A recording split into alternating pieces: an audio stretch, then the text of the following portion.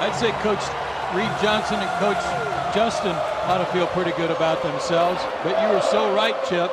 He just kept getting closer and closer to that fastball. And boy, was he focused.